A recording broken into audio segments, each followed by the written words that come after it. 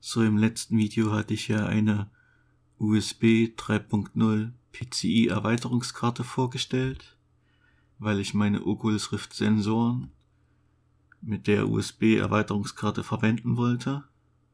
Das hat nicht funktioniert. Die USB 3.0 Erweiterungskarte für PCI Express hat meine USB 3 Sensoren nicht unterstützt. Sie haben also dann nicht funktioniert, wurde Fehler angezeigt. Jetzt habe ich mir eine andere PCI-Karte bestellt von Inatec. Die hat den Fresco FL 1100 Chipsatz und in der Beschreibung wird auch angegeben, dass sie Oculus Rift unterstützt. Das hoffe ich mal, dass das auch funktioniert. Ich werde es natürlich testen in diesem Video. Ich werde die zwei Oculus Rift Sensoren an die USB 3 PCI Karte anschließen und testen, ob sie erkannt werden. Ich werde auch mal einen USB Stick anschließen, wie schnell der läuft. Das werde ich testen. Bei meiner vorhergehenden, im vorhergehenden Video, da lief der USB Stick eigentlich ziemlich langsam und das war ein USB 3.0. Das vorhergehende Video könnt ihr euch anschauen. Ich werde den Link in die Videobeschreibung packen.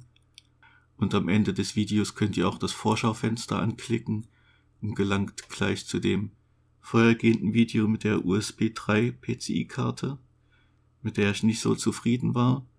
Und wir werden diese hier jetzt auspacken, uns anschauen, wie sie aussieht und was in der Packung drin ist. Dann werde ich euch zeigen, wie man sie einbaut. Und dann sehen wir uns danach im Desktop wieder und testen die Karte mal aus.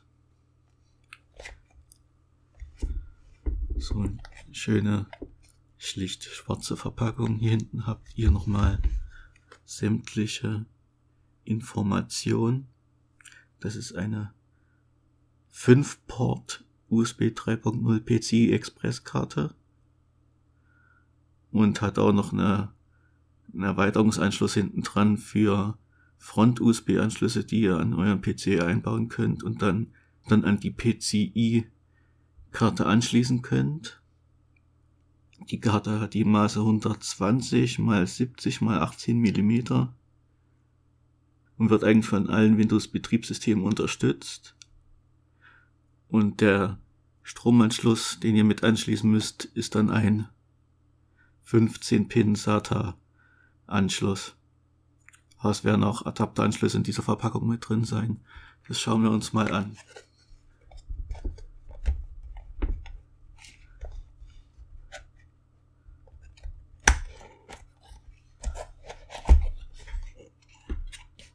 So, da haben wir schon alles. Da haben wir die Adapteranschlüsse fürs Netzteil. Falls ihr keinen SATA-Anschluss mehr frei habt, könnt ihr den über diesen 4-Pin-Anschluss anschließen und habt am anderen Ende dann einen SATA-Anschluss.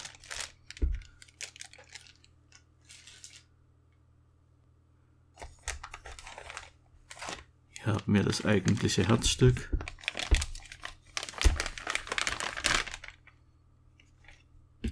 Vorher nochmal, ihr habt hier noch Schrauben dabei, eine Anleitung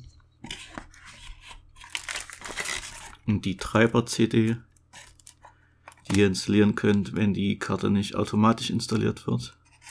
Das muss ich dann auch erstmal ausprobieren.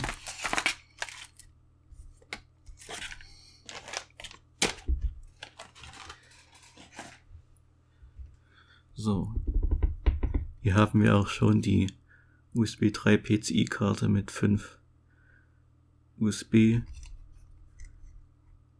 Anschlüssen, 5 USB 3.0 Anschlüsse.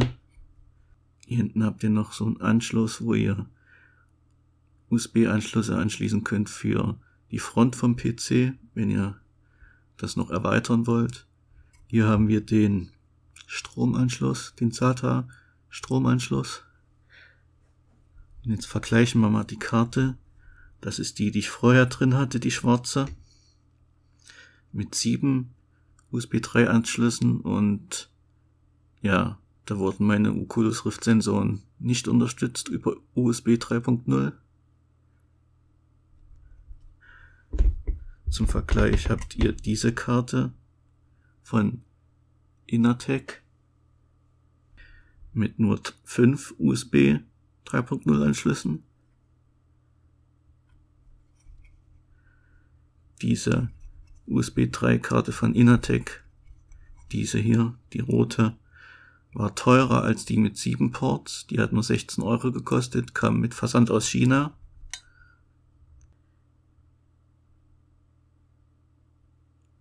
Wir haben hier weniger USB-Ports, vielleicht hat die Karte dann dadurch mehr Leistung übrig.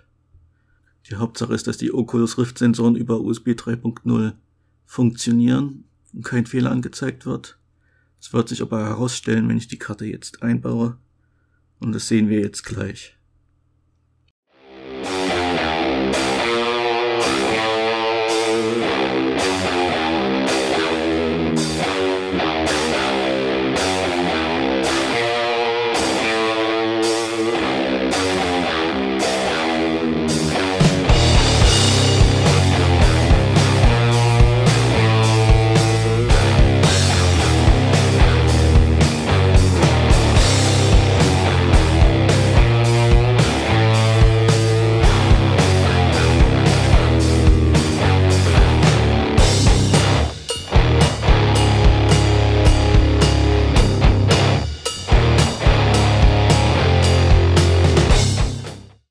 So, die USB. So, die USB 3.0 PCI-Karte ist eingebaut. Und wie ihr seht, es funktioniert.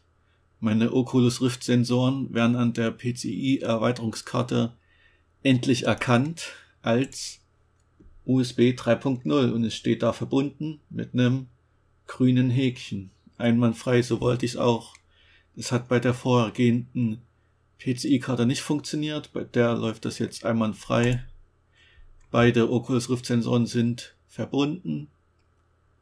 So wollte ich es haben.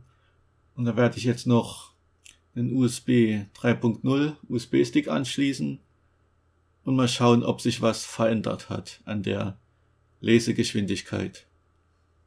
So, ich habe jetzt hier an meiner USB 3.0 PCI Express Erweiterungskarte an einem USB-Anschluss einen USB-Stick 3.0 angeschlossen. Wenn wir jetzt hier draufklicken, sehen wir USB 3 Version 3.0 wird also voll erkannt. Das ging vorher bei der Orico Karte nicht. Mit der Karte hier, mit der Inatec, mit dem Fresco Chipsatz funktioniert das einwandfrei. Was ich euch sagen muss, wenn ihr Windows 10 habt, braucht ihr die Treiber-CD, die dabei ist, nicht verwenden. Das wird automatisch von Windows 10 installiert, von Windows 10 installiert. Wenn ihr eine ältere Windows-Version haben solltet, solltet ihr euch den aktuellsten Fresco-Treiber runterladen. Auf der CD, der ist nicht mehr wirklich aktuell. Jetzt machen wir mal mit dem USB-Stick einen Speed-Test. Wir schauen mal mit der Orico USB-Karte hatten wir hatten wir eine Schreibgeschwindigkeit von 16,84 MB pro Sekunde und eine Lesegeschwindigkeit von 33,11 MB pro Sekunde. Jetzt schauen wir mal, wie es mit meiner neuen PC Express Karte sein wird. Machen wir also den Speedtest. So. Und Starttest.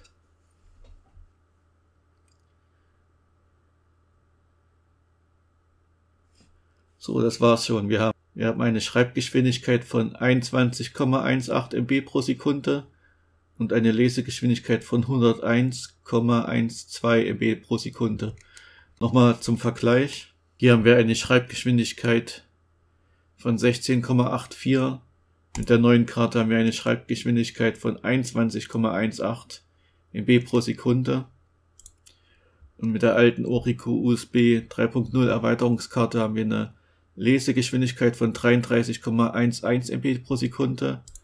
Und mit der Inatec USB 3.0 Karte haben wir eine Lesegeschwindigkeit von 101,12 MB pro Sekunde. Das ist schon mal ein gewaltiger Unterschied. Also es lohnt sich wirklich paar Euro mehr zu investieren. Die Orico USB-Karte mit den sieben USB-Ports hat 16 Euro gekostet mit Versand aus China.